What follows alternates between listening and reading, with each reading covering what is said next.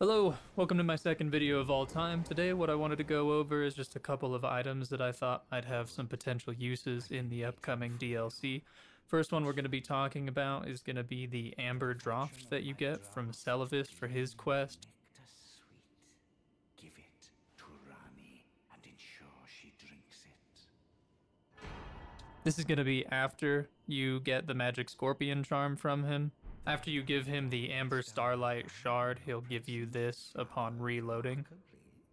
Though she might dip her hands in the dirt and feign that icy persona, she's a frail, gentle girl at heart. So if you want to be a garbage person, you can give the draft to Ranni, but I'm pretty sure all she does is get upset and or kill you. My thought is since the original version of Seluvis's potion has the three options between Gideon, Nefeli, and the Dung Eater for who to give it to to move the quest forward, versus the Amber Draught only having the option of giving it to Ranni, there might be possible uses since there are probably other demigods in the DLC. Can I hold you tight? If only for a moment. The second item I wanted to go over is the Radiant Baldachin's Blessing. You get this item from Fia upon giving her the other half of the Hallow Brand of Death. The item description for the Radiant Baldachin's Blessing mentions the protection of a hidden temple in the guise of a bedchamber.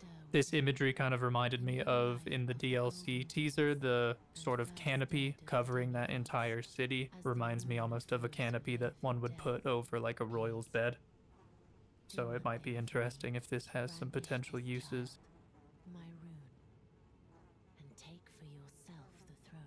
The final item I wanted to go over is the Tonic of Forgetfulness. Tanith will give you this in Volcano Manor once Zorayas has gone missing from her chambers in the guest hall. You can give this item to Rya or you can give this item to Brother Corhyn. Both options seem to have pretty negligible differences in their quests, so I think it would be interesting if this had some other potential options in the DLC, since you are likely to get this item before facing Mohg, which seems to be the unlock point.